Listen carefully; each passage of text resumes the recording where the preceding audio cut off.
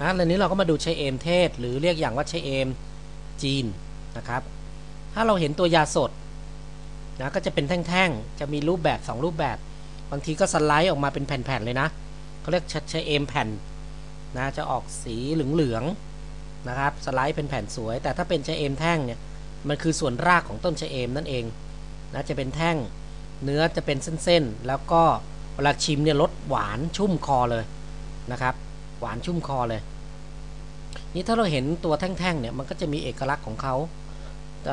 อย่างที่อาจารย์บอกถ้าเราฉีกออกมาเนี่ยมันจะเป็นเส้นๆนะออกแนวแนว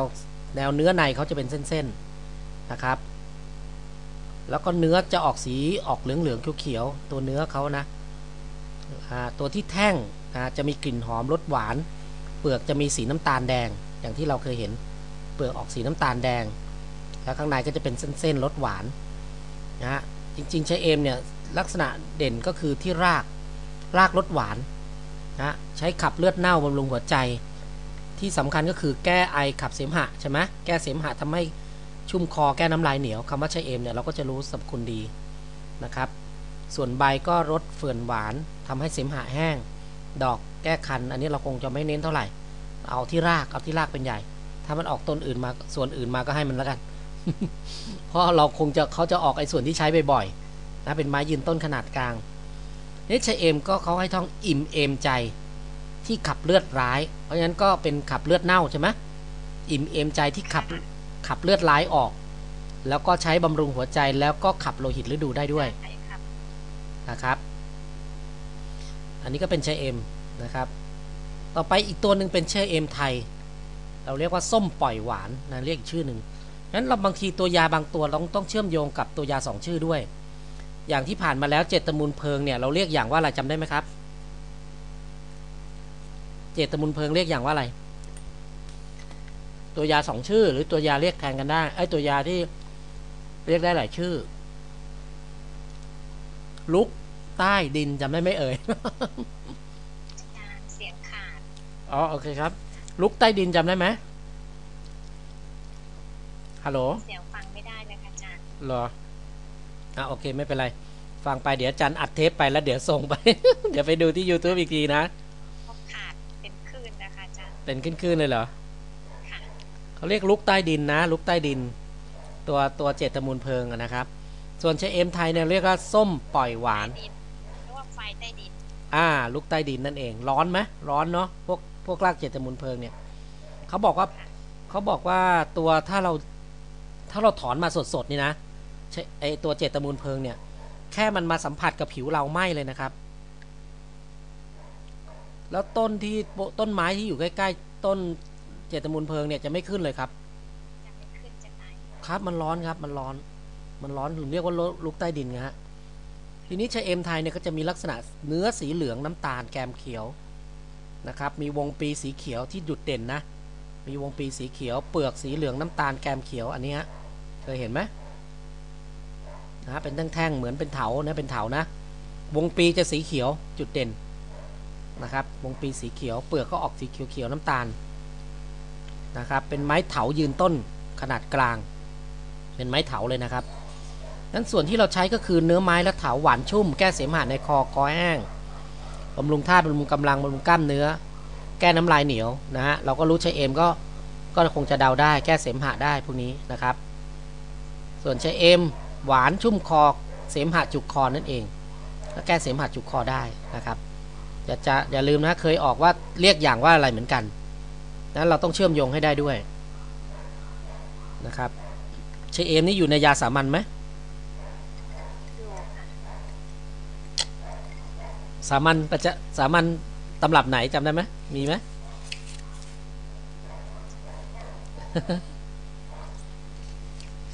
ช้เอมเนี่ยจริง ๆ ไม่อยู่ในใช้เอมไทยไม่อยู่ในยาสามัญแต่ใช้เอมเทศอยู่ อยู่ในยาอะไรครับอัมมลึกสามพันไปอัมมลึกคะวาทีจำได้ไหมเอ่ยอัมมลึอัมมลึกคะวาทีใช้เอมเทศ กี่ส่วนฮะ47ส่วนเนี่ยนะเยอะมากที่สุดเลยนะครับจำได้ไหมไปดูอมฤตขวาทีด้วยนะครับค่ะ อืมอันนี้ไม่ได้แทบได้เลยโอ้พยาสามัญเนอะในหนังสือหมดเลยไม่ได้เลยนะครับ ตอนนี้เขาเชื่อมโยงเราหมด สมมุติเรารู้ว่าจะเอมเทศเนี่ยคำถามต่อไปเขาอาจจะถามว่า อยู่ในยาสามัญประจำบ้านหนักกี่ส่วนแปลวเนี่ยค่ะอาจารย์มีปัญหาตรงเนี้ยค่ะเลอเรื่องพิกัดเรื่องโอ้ไม่ได้ส่วนเราดูตัวยาแล้ว คือเพราะฉะนั้น ทฤษฎีต้องทบทวนเกือบทั้งหมดนะต้องเชื่อมโยงให้หมดตัวยาสองชื่อ ตัวยาทดแทนกันได้นะครับ ต้องเชื่อมโยงให้ได้หมดนะครับ ยาสามัญปีนี้ออกยาสามัญเยอะด้วย ปีที่ออกทฤษฎีที่ผ่านมาลูกศิษย์มาบอกเนี่ยออกยาสามัญละเอียดเลยครับ ออกเยอะพิกัดกลับไม่ค่อยออกนะไปออกยาสามัญเพราะฉะนั้นกลัวว่าเขาจะถามยาของเราเชื่อมกับยาสามัญเขาอาจจะให้ใช้เอมเทศมาเรารู้ว่าใช้เอมเทศ แต่อาจจะถามว่าใช้เอมเทศอยู่ในยาสามัญประจำบ้านตำรับใดและหนักกี่ส่วน แปลวไหมแปลวเลยเนาะเพราะฉะนั้นจำไว้เลยนะ ก็เชื่อมโยงไปได้เลยครับว่าใช้เอมเทศอยู่ในยาสามัญประจำบ้าน ในชื่อยาอะไรครับอัมลึกคะเราก็ต้องไปดูว่าอัมลึกขวาทีเนี่ยมีตำรับมีสูตรยาอะไรบ้าง ใช่ไหม เราต้องไปดูด้วยนะครับใช้เอ็นเทศหนักกี่ส่วน42สี่เนอะสี่อะไรครับสี่สามส่วนโทษที40สี่สิบสามส่วนกิ๊บบอก42สี่สิบสามครับ ซึ่งประกอบไปด้วยรากคล้ายเครือกดพุงปลาเทียนขาวลูกผักชีลานะครับ เนื้อมะขามป้อม เนื้อลูกสมอพิเภกหนักอย่างละเจ็ดส่วนเจ็ดสี่ยี่สิบแปด มันทั้งหมดเจ็ดเจ็ดสี่สิบเก้าเออเดี๋ยวเดี๋ยวเจ็ดหกสี่สิบสองโทษทีรากคล้ายเครือกดพุงปลาเทียนขาว ลูกผักชีลา แล้วก็เนื้อมะขามป้อม เนื้อมะเลือกสมอพิเภกเจ็ดหกสี่สิบสองแล้วเดิมมันบวกน้ำประสานทองไปอีกหนึ่งเป็น43ส่วนโทษที แต่ณวันนี้เวลายาตัวนี้ตัดน้ำประสานทองออกไปนะครับ เพราะฉะนั้นตัวนี้มีตัวยาอยู่มีอยู่ 7 ตัว นะบดเป็นผงแก้ไอขับเสมหะ ละลายน้ำมะนาวแทรกเกลือ ใช้จิบหรือกวาดคอ ใช่ไหมผู้ใหญ่ครั้งละหนึ่งช้อนชา เด็กก็ลดลงตามส่วน ตรงนี้ก็เป็นอัมมลึกควาทีซึ่งจะต้องเชื่อมโยงด้วยนะครับ เพราะฉะนั้นเห็นตัวยาตัวนี้เอ๊ะมันอยู่ยาสามัญไหมอ้าวเจอชาพูครับ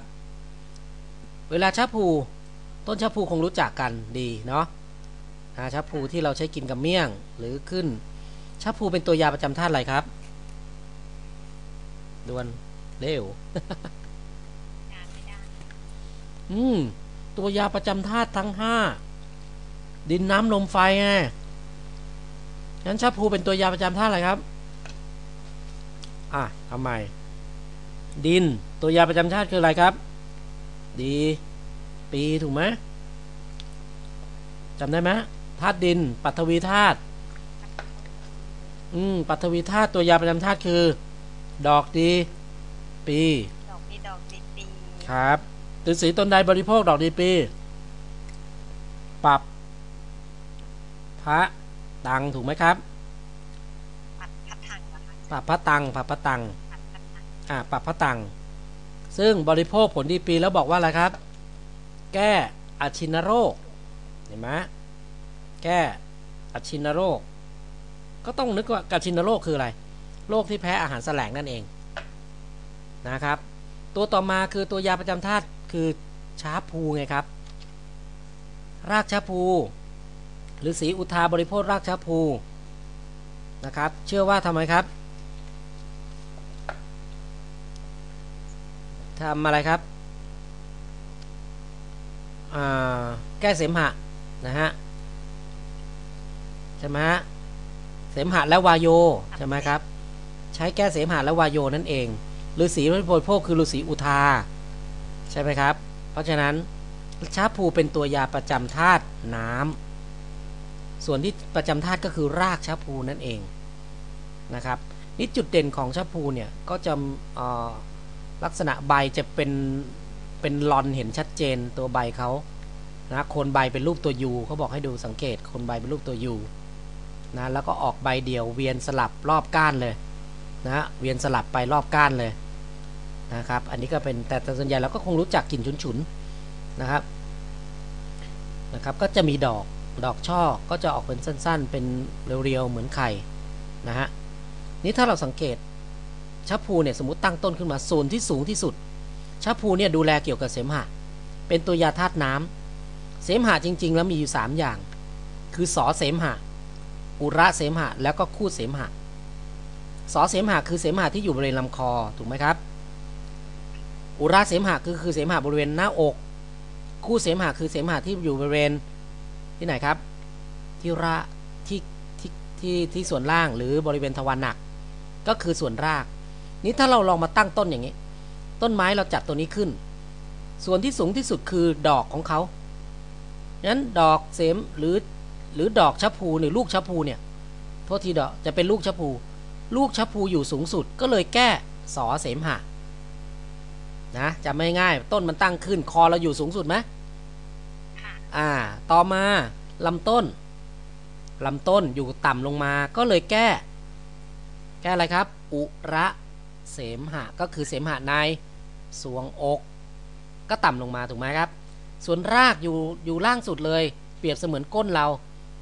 นั้นรากก็เลยแก้ คูดเสมหะก็คือเสมหะที่อยู่บริเวณทวารหนักนั่นเอง เห็นไหมจะเรียงลงมาเนาะนะฮะดอลูกก็คือสอเสมหะต้นอุระเสมหะรากคือคูดเสมหะใช่ไหมครับ แล้วส่วนใบล่ะครับ ส่วนใบก็ทำให้เสมหะงวด หรือแห้งเข้านั่นเอง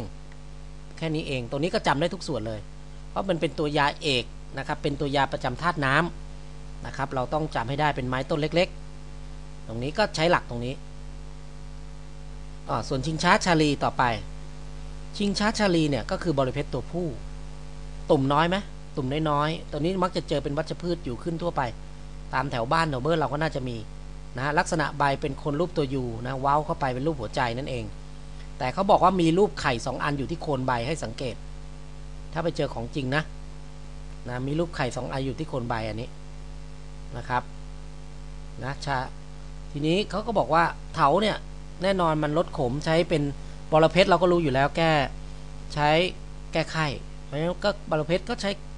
ยิงชัชชาลีก็คือบอระเพ็ดตัวผู้ก็ใช้แก้ไข้ได้เองนะเถาก็ลดขมแก้พิษฝีดาษไข้เหนือนะไข้จับสันอะไรเงี้ยไข้เพื่อโลหิตฝีการอะไรต่างๆ การเป็นพิษอักเสบใช้บำรุงธาตุทำให้เลือดเย็น แก้มะเร็ง โอ้ ส่วนใบก็ลดขม เมาฆ่าพยาธิผิวหนังแก้มะเร็งนะครับ ดอกนะแก้ลามานาดแก้ปวดฟัน พวกนี้ก็มันไม้เถาเลื้อยนะครับ แต่ความขมไม่เหมือนกับอ่อไม่เหมือนกับตัวบอระเพ็ดเขาบอกว่าชาลีมีสองไข่ลดขมไว้แก้ไข้แค่นั้นเองชาลีมีสองไข่นะก็คงเอาไปดูจำกัน ส่วนอีกตัวหนึ่งนะครับทีนี้ชิงช้าชาลี อันนี้บอระเพ็ดนะฮะจริงๆตัวนี้มันมีตุ่มเยอะนะครับอ๋อโทษทีชิงช้าชลีเนี่ยตุ่มจะน้อยกว่า แล้วก็บอกให้ดูหน้าตัด หน้าตัดจะเหมือนกับรูปพัดลมนะครับ จะมีใบเวียนไป มีเป็นเถา มีตุ่มขึ้นรอบ เหมือนเท้าแสนปมนะแต่ความสูงปุ่มน้อยกว่าบอระเพ็ดถ้าบอระเพ็ดเนี่ยจะตุ่มสูงใหญ่เลย ก็มีลักษณะคล้ายกันสรรพคุณก็อย่างที่กล่าวมาแล้วนะครับลดขมไม่แก้ไข้เหมือนกันทีนี้โจดชอช้างอีกตัวหนึ่งก็ชิงชี่ชิงชี่เป็นตัวยาเอกมากๆเลยนะครับจำได้ เป็นตัวยาอยู่ในพิกัดอะไรจำได้ไหมเอ่ยชิงชี่จำพิกอืมต่อไปนี้ต้องท่องแล้วครับค่ะพิกัดนะครับต้องท่องฮะ เริ่มตอนเพราะว่าตอนนั้นมันยังรู้สเปซสปะครับ ต้องเริ่มท่องพิกัดความเชื่อมโยงค่ะถ้าเราไม่ได้พิกัดเขาถามพิกัดเราก็เสร็จ เราไม่ได้ยาสามัญเรารู้จักต้นเนี้ย แต่เราก็ตอบคำถามที่สองที่สามไม่ได้ ถูกไหมปัญหาเลยนะครับ เพราะฉะนั้นมีเวลาอีกประมาณเดือนครึ่งมันต้องเร่งแล้วครับ ตอนนี้ต้องทำงานอะไรเยอะไหมครับ ตอนนี้ก็นอนก็ประมาณทำเยอะอะค่ะ นอนก็จริง ๆ ก็ประมาณ ตีห้าหรือหกโมงเช้า อืมค่ะแล้วทำงานอะไรครับตอนนี้ ก็ทำเกี่ยวกับพวกร้านนวดแล้วก็ทำห้องเช่าทำหลายอย่างอะค่ะอาจารย์ อืม แล้วหมายถึงต้องเราต้องดูแลตลอดไหมครับ คืออยู่คนเดียวค่ะอาจารย์ อืม แล้วก็ลูกไปเรียนอยู่ที่กรุงเทพครับผตอมนนี้อยู่คนเดียวพอดีก็เพิ่งไปผ่าตัดมาก็ดูแลตัวเองอยู่คนเดียวอะค่ะ อืมอืมเพราะฉะนั้นน้องด้วยอะไรด้วยโอเค แล้วมีเวลาดูหนังสือวันละกี่ชั่วโมงครับ บางวันก็ถ้าเพลียมาก ๆ ก็ชั่วโมง บางทีก็เปิดเปิดทั้งกลางคืนถ้าไม่ยุ่งคือจริง ๆ แล้วบางทีมันเจอลูกค้าพวกฝรั่งเราก็คุยไม่ค่อยเป็นก็ต้องอ่าฮะ นั่งดูให้ลูกน้องแล้วก็นั่งดูเน็ตมั่งอะไรมั่ง คือตอนนี้เริ่มเรียนเพราะเมื่อก่อนนี้ไม่รู้เลย เมื่อก่อนนี้จะอ่าฮะทำเป็นพวกร้านหนังสืออะค่ะอ๋อก็เพิ่งมาปรับงานใหม่ก็เลยกำลังแย่อืมครับ ค่ะ เศรษฐกิจแย่เลยอืมแย่ไปด้วยตัวย่าไปด้วยนะค่ะเอานะไม่เป็นไร สู้ เต็ม เอาให้ได้มากเรียนนะคะอาจารย์อืมเอาให้ได้มากที่สุด จริงๆก็ยังถามตัวเองไม่รู้จะไปเรียนไปทำอะไรแต่ก็อยากเรียนอ่าโอเค เราเรียนแล้วก็ใช้กับตัวเองแหละเนาะค่ะหาเวลาบางทีก็หาเวลาไปเรียนบ้างบางทีก็อ่านในหนังสือส่วนมากก็จะอาทิตย์หนึ่งก็บางทีไปครั้งหนึ่งช่วงนี้ก็ไม่ได้ไปไหนเลยเพราะกำลังป่วยอยู่โอ้ ครับโอเคก็ดูชิงชี่เนี่ยเป็นตัวยาที่เป็นพระเอกเลยนะฮะอยู่ในยาห้ารากเคยได้ยินไหมยาห้าราก ยาห้ารากหรือเบนจาโลทิกเบนจาโลกวิเชียนเบนจาโลกะวิเชียน เพชรสว่าง แก้วห้าดวง เขียนไปเลยนะครับ ชิงชี่เป็นตัวยาเอกเลยอยู่ในยาห้ารากนะครับ หรือเบนจะโลกะวิเชียน หรือเรียกอย่างว่าเพชรสว่าง หรือแก้วห้าดวง ชื่อเดียวกันทั้งหมดนะครับ ซึ่งถ้าคุณไปเปิดหนังสืออยู่ในพิกัดทั้ง 5 นั่นเอง ประกอบไปด้วย อะไรไหมครับ ยายพรชิงนางคนทาจำง่ายๆ ยายพรชิงนางคนทายายคืออะไรครับ รากเท้าใหญ่ม่อม ถูกไหมครับ พรคือรากมะเดื่อชุมพร อืมชิงก็คือชิงชี่นี่เองตัวนี้นั่นเอง ที่ครับแล้วก็นาง คนทานางคืออะไรยานางเออ รากยะนาง และคนทาคืออะไร ก็รากคนทานถูกต้องครับ ยายพรชิงนางคนทาจำไว้เลยจำสั้นๆ ยายพรชิงนางคนทาก็คือแก้วห้าดวงเพชรสว่างเบญจโลกะวิเชียน หรือยาห้าราก ซึ่งเป็นยาเอกอยู่ในคัมภีร์ทาง ตักกศิลา ซึ่งใช้กระทุ้งพิษไข้นะครับใช้กระทุ้งพิษฝีพิษไข้ แล้วก็รักษาจริง ๆ แล้วมันคือต้านไวรัสนั่นเองนะครับอาจารย์ใช้ได้ผลมากตัวนี้ แล้วเป็นยาแก้ไข้พวกเราได้ดีมากนะครับ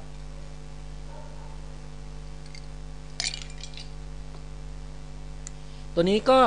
ชิงชี่นี่ก็จะเป็นลักษณะเนื้อดูนะฮะถ้าจะเห็นจากภาพนะจะเเป็นเนื้อขาวๆเนื้อแข็งนะแต่เปลือก ให้สังเกตว่าเปลือกผิวจะเหมือนหนังเหี่ยวๆนะฮะเหี่ยวหยุดกระจายเป็นช่วงๆ สีน้ำตาลครีม นิ่มกดได้ที่นะที่เปลือกเขาเนี้ยออกจะนิ่มๆ แล้วกดกดแล้วจะยืดหยุ่นนุ่มๆลงไป แต่ตัวเนื้อภายในเนื้อก็จะแข็งนะฮะเนื้อแข็งภายในร่องมีสีขาวปนน้ำตาลคล้ายยางออกมานะครับ ที่ร่องตรงนี้ แต่เปลือกจะเอานุ่มๆหน่อย เป็นไม้พุ่มขนาดย่อม นะตัวยาที่เราใช้ก็คือรากนั่นเองนะครับ แต่ในนี้ก็บอกต้นคืนป่าแก้ฟกบวม ลูกคืนป่าแก้เจ็บคอลำคออักเสบนะครับ ดอกลดคืนป่าแก้โรคมะเร็งนะแต่จริงเราที่ใช้ยาคือราก ในหนังสือเราจะบอกไว้แค่นี้ แต่ในยาเราก็ให้ราก ชี่คือลมปานก็คือแก้ไข้เพื่อลมนั่นเองนะแต่จริงๆแล้วรากนั้นเป็นตัวที่สำคัญ ใช้แก้พิษไข้ลดความร้อนนะครับ นะได้ดีมากนะฮะชิงชี่ฉะนั้นชิงชี่อยู่ในกลุ่มยาแก้ไข้ถ้าเราจำไม่ได้ก็ยายพรชิงนางกุนทาเฮ้ยมันเป็นยาแก้ไข้กระทุ้งพิษนี่เราก็บอกแก้ไข้ก็ได้นะครับ แล้วก็ตอบสั้นๆนะไม่ต้องบอกเพื่อลมเพื่ออะไรหรอกแก้ไข้ก็พอแล้วนี่ชุมเห็ดตัวต่อไปชุมเห็ดเดี๋ยวนะอาจารย์ปิดนี้